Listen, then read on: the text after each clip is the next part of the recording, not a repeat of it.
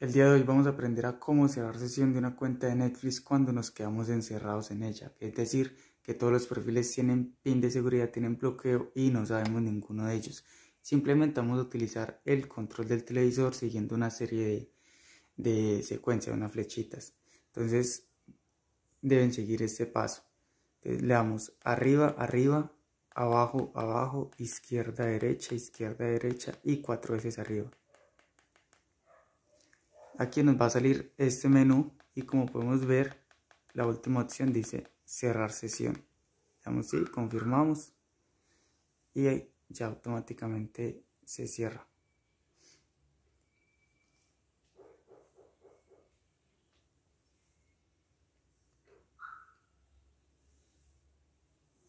Y listo